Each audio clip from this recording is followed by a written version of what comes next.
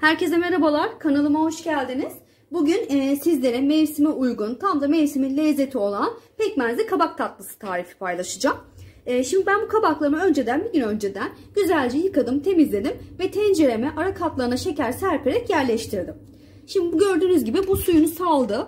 Şimdi bu kabaklarım kendi suyunda kapağı kapağı olarak bir saat ocakta yumuşayana kadar ağır ateşte pişireceğim. Evet kabaklarımı ocağın üzerine aldım. Ee, şimdi ben burada yaklaşık 2,5 kilo kabak ve 4 su bardağı şeker kullandım. Sizler tercihinize göre e, bu şeker miktarını isterseniz arttırabilir, art, azaltabilirsiniz de. E, şimdi ben bu kapağı kapatıyorum. Kısık ateşte bunu yaklaşık 1 saat kadar böyle yumuşayana kadar pişmeye bırakacağım.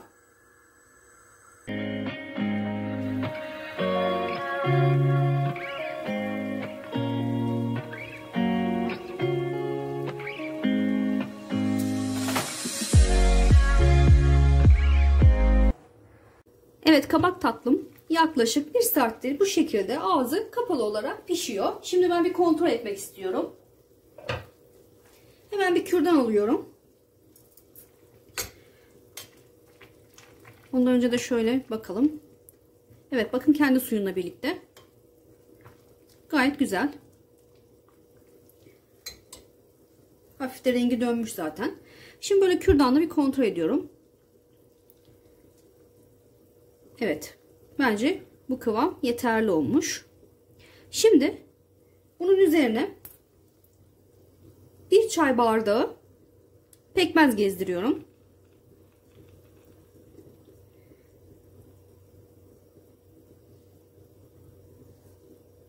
Ve bu şekilde kapağını kapatmadan ocağımı çok hafif de yükselterek kendi suyunu, şerbetini çekmesini sağlayacağım. Şimdi eklemiş olduğum bu e, pekmez ile bu kabak tatlımızın rengi ve kıvamı daha güzel olacak. Böyle hafif e, kıvamlı, ağdılaşmış bir şerbet olacak. Ve lezzet olarak da çok daha güzel oluyor. Dikkat etmemiz gereken konu e, eğer üzerinde köpükler oluşursa şimdi kaynamaya başladıkça ilerleyen dakikalarda o köpükleri üzerinde alıyoruz. Ve dibini tutmamasına da dikkat etmemiz gerekiyor. Bir 20-30 dakikada bu şekilde e, şerbetin kıvamına göre kaynamaya devam edecek.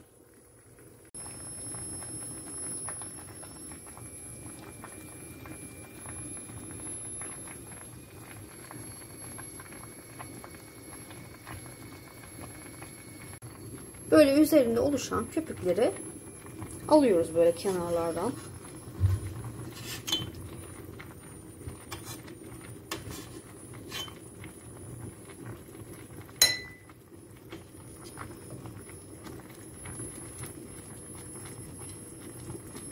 Şerbetin çoğunu çekti. İstediğim kıvamı da geldi. Yaklaşık bir 30 dakika kadar da bu şekilde kaynattım. Şimdi ocağımın altını kapatıyorum. Bir 20 dakika kadar da tencerede bu şekilde dinlenmesini sağlayacağım. Daha sonra bir borcam kaba e, boşaltabilirsiniz.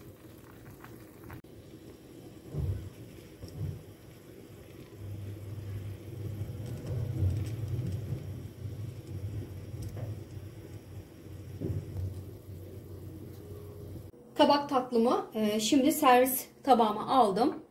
Ve son olarak da üzerine birazcık şerbetinden gezdirmek istiyorum.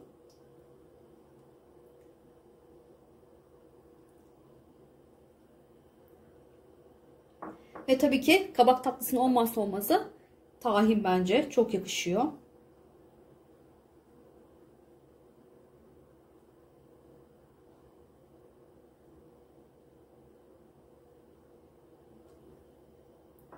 Ve son olarak da fındık. Tercih ederseniz ceviz içi de kullanabilirsiniz.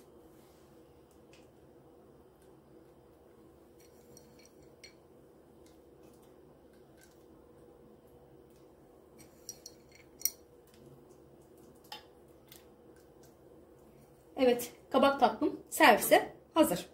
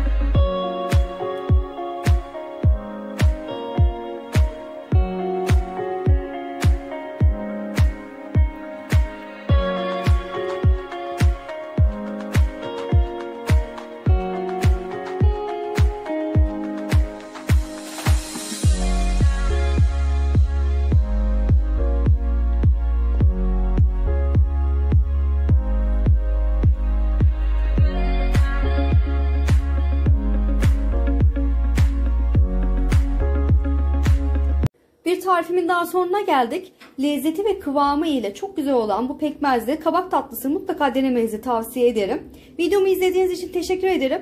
Yeni tariflerde tekrar görüşmek üzere. Hoşçakalın. Kendinize iyi bakın.